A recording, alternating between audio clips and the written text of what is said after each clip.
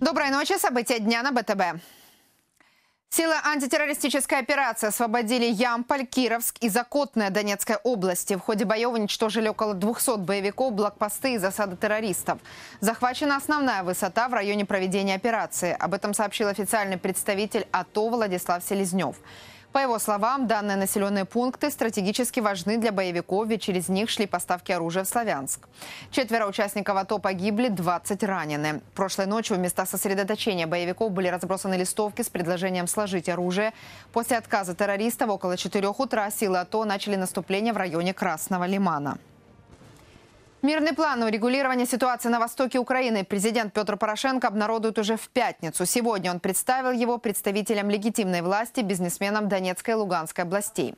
На сегодня мирный план состоит из 14 пунктов. Среди них изменение Конституции Украины, децентрализация власти, освобождение заложников, восстановление региона после окончания боевых действий. По словам Петра Порошенко, программа экономического развития Донбасса уже разработана совместно с партнерами из Евросоюза. Она поможет создать в регионе новые рабочие места. Уполномоченная главы государства по мирному урегулированию конфликтов на Донбассе Ирина Геращенко не исключает, что по итогам встречи документ пополнится новыми позициями. Возможно, после сегодняшней встречи добавится еще один-два пункта, потому что президент Украины в первую очередь хотел услышать мнение представителей регионов относительно своих предложений, относительно возможности реализации этого плана. И очевидно, что один человек не может реализовать свой план. Поэтому президент Украины отметил, что сегодня он консолидирует элиту, консолидирует команду и работает в тесном сотрудничестве с правительством и Верховной Радой команду і працює в тісній співпраці з урядом, е, з Верховною Радою. У Украины новый генпрокурор, министр иностранных дел и глава Нацбанка. Среди новоиспеченных чиновников как опытные политики Виталий Ярема и Павел Климки, так и новые лица Валерий, Валерия Гонтарева. Всех их сегодня в парламенте представил президент Петр Порошенко. Как приняли новичков депутаты, видели наши корреспонденты. Патриот, профессионал и единомышленник. Именно такими критериями руководствовался президент Петр Порошенко при выборе новых чиновников. В кресло генпрокурора садится бывший первый вице-премьер-министр Виталий Ярема. Его кандидатуру поддержали 329 парламентариев. Он себя достойно зарекомендовал на должности первого вице-премьера, который фактически руководил силовым блоком в эти сложные времена. Я убежден, он сможет достойно представлять общество, обеспечивать справедливость и законность на этой высокой должности.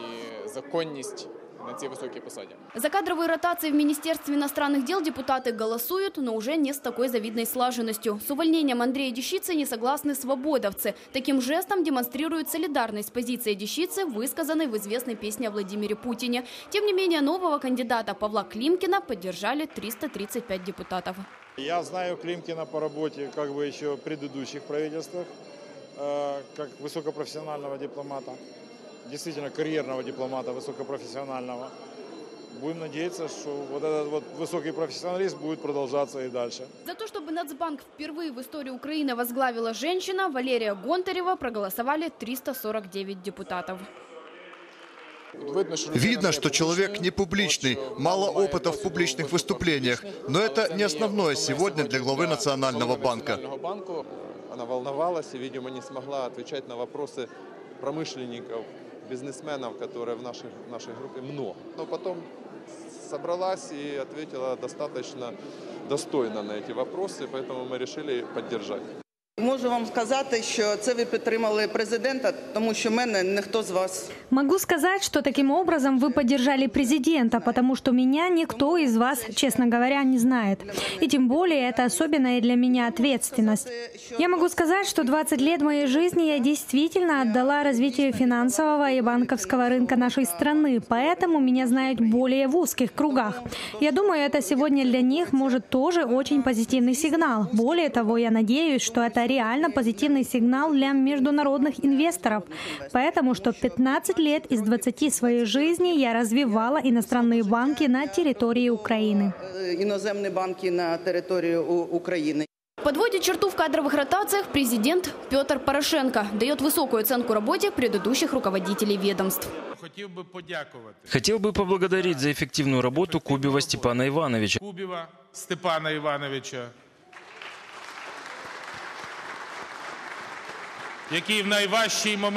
который в себе трудный момент взял на себя ответственность. Я гарантирую, что место Степана Ивановича будет чрезвычайно важным в политическом процессе. в політичному процесі. Хотів подякувати Махницькому. Хотел бы поблагодарить Махницкого Олега Игоревича. і оцінкою його Оценка его работы – мое назначение Олега Игоревича советником президента Украины.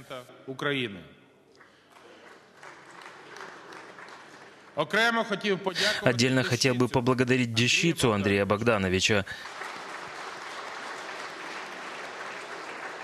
сказати, Могу сказать, я предложил ему возглавить одно из зарубежных дипломатических учреждений Украины. Дух перемен захватил и парламентариев. Народный депутат Руслан Богдан присоединяется к фракции «Батькивщина», а коммунистов покидают Игорь Калетник и Руслан Скорбовичук. Вера Свердлок, Анна Каменева, Владислав Плешаков, Андрей Коваль, Тарас Чкан, БТБ. Кардинальное изменение облика прокуратуры и решительная борьба с коррупцией. Такие ключевые задания поставил президент Украины перед Генеральной прокуратурой во время представления нового главы ведомства Виталия Яремы. Весьма существенная роль отводится прокуратуре в реализации мирного плана президента – возобновить законность на Донбассе. А новому генпрокурору глава государства пожелал, чтобы в ближайшее время каждый гражданин Украины мог поблагодарить работников прокуратуры за работу. Я впевнений в тому, що е, ваш рішучий настрій, ваш досвід Я уверен в том, что ваша решимость, ваш опыт и команда, которую вы в ближайшее время сформируете при поддержке президента, дает мне основания надеяться, что вы способны выполнить это задание. здатний виконати це завдання. Ті завдання і ті виклики, Те задания, те вызовы, с которыми сегодня столкнулась страна, они чрезвычайные. Страна находится в состоянии войны, требует максимальной консолидации. И роль прокуратуры в том, чтобы обеспечить эти процессы, тяжело переоценить. і роль прокуратури в тому, щоб забезпечити ці процеси, важко переоцінити. В должность официально вступил и министр иностранных дел Павел Климкин. Опытный дипломат свои 47 лет уже успел побывать на должности заместителя внешнеполитического ведомства страны. А непосредственно перед назначением был чрезвычайным и полномочным послом Украины в Германии. Новоназначенный министр пообещал в сжатые сроки наладить эффективную работу по всем направлениям внешней политики. Рівень завдань, рівень Уровень заданий и уровень интенсивности работы будет очень велик. Я на вас полагаюсь. Я впевнений, що И Я также уверен, что с техническим опытом, техническим образованием, которое в том числе есть у Павла Анатольевича, мы сможем резко повысить эффективность работы министерства. ефективність роботи міністерства. Я сподіваюся, що ми зробимо Я надеюсь, что мы построим еще более эффективную команду, поскольку задачи еще более сложные. Европейская интеграция. Я очень благодарен за доверие и идею включить меня в процесс трехсторонних переговоров по реализации вашего мирного плана. включити мене в процес тристоронніх переговорів по реалізації вашого мирного плану. Коллективу Нацбанка представили нового главу Валерию Гонтареву. Президент Украины Петр Порошенко отметил, что его с избранием нового руководителя Национального банка уже поздравила директор Международного валютного фонда Кристин Лагард. И заверила в поддержке действий украинской власти, отметив при этом настрой на плодотворное сотрудничество. О планах нового главы НБУ в сюжете Виктории Попович. Президент Украины Петр Порошенко представил коллективу Национального банка нового главу Валерию Гонтареву. При этом первым делом он отметил достижения ее предшественника Степана Кубева и искренне поблагодарил его за высокопрофессиональную работу в чрезвычайно сложное для финансовой системы и экономики страны время. Прощаться с экс-главой Нацбанка президент не намерен. Они продолжат сотрудничество для решения государственных задач. Я вважаю, що та роль, яку він відіграв я считаю, что та роль, которую он отыграл в чрезвычайно сложные для украинской финансовой системы, для украинской экономики времена, является определяющей и необычайно высокопрофессиональной. И могу сказать, что Степан Кубев – это мой политический партнер, человек, который много сделал для Украины, человек, с которым я прошел необычайно сложный путь. И он еще сыграет большую роль в политической составляющей, в политической системе Украины і він е, ще відіграє велику роль в політичній складовій, в політичній системі України. Прощаться не намерен и сам Степан Кубев. Обещает в первое время помогать и поддерживать нового главу Нацбанка. Ведь вектор работы на будущее уже определен. Впервые в истории Украины появилась одобренная банковским сообществом и международными партнерами долгосрочная до 2020 года стратегия реформирования банковского сектора.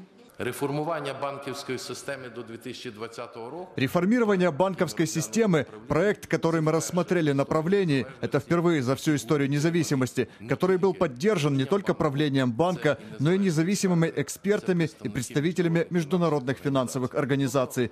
То есть проектная линия есть, а коридор корректировки – это от времени, от требований. Но самое главное – исполнить закон Украины о стабильности денежной единицы.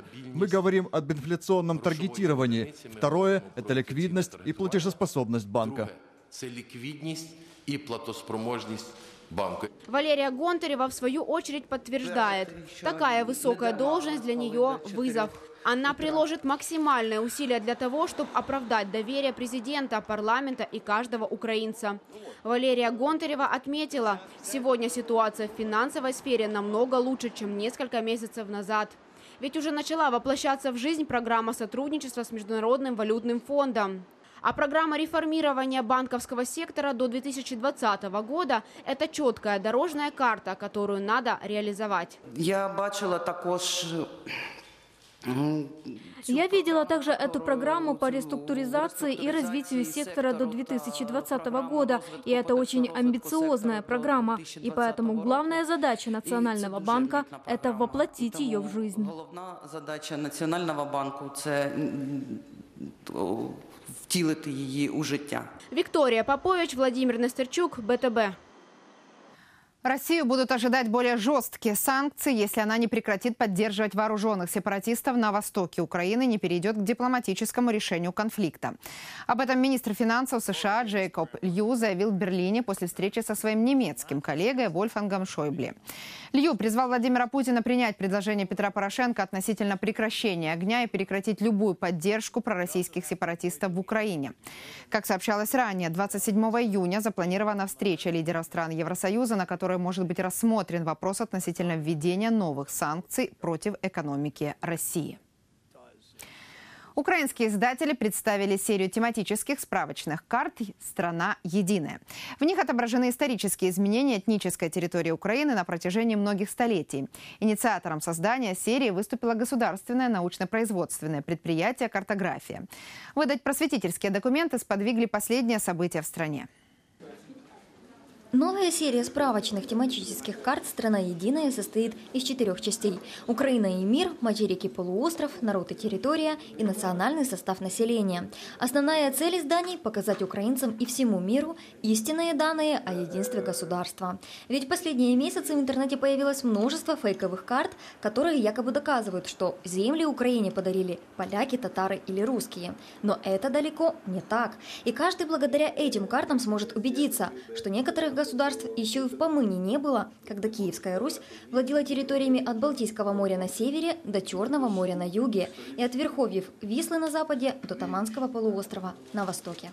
В условиях манипулирования историческими фактами появление этих карт дает возможность человеку самому убедиться в сложном, но при этом очень важном и самостоятельном пути формирования украинского государства. В сборниках «Страны единой» опубликовано целый ряд материалов из польских и немецких изданий столетней давности. Карты содержат тексты, диаграммы и графики, которые служат тематическим дополнением. По словам историков, здесь изложено формирование исторических вех в развитии территории. То, что карты увидели мир, уже большое событие для Украины, но таких проектов должно быть значительно больше. У нас острый дефицит, нам катастрофически не хватает таких вещей, именно картографических. Нам есть над чем работать. Это не только издательство, но и распространение. Издатели мечтают выдать карты на английском языке, чтобы весь мир знал историю Украины. Еще одна мечта – такие карты в каждой школе. Ведь знание истории формирует сознательного человека, человека-патриота. Именно такую цель преследовали издатели.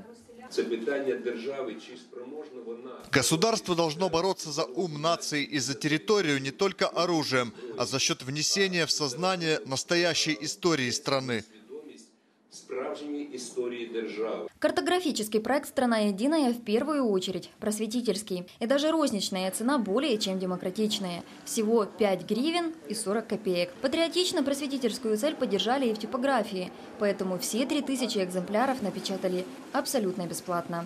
Юлия Боднарь, Виктор Синкевич, БТБ. Спасибо, что были с нами. Далее информация про главные новости пятницы 20 июня. Спокойной ночи и до встречи. Заседание Верховной Рады Украины. Депутаты узнают подробности плана мирного урегулирования конфликта на востоке страны от президента Украины, а кроме того, отчет министра обороны Анатолия Коваля о проведении антитеррористической операции. Экономические санкции против России. Как это работает, расскажут международные финансовые эксперты. Что такое бюджет страны, по мнению детей? Конкурс юных и креативных о налогах и доходах.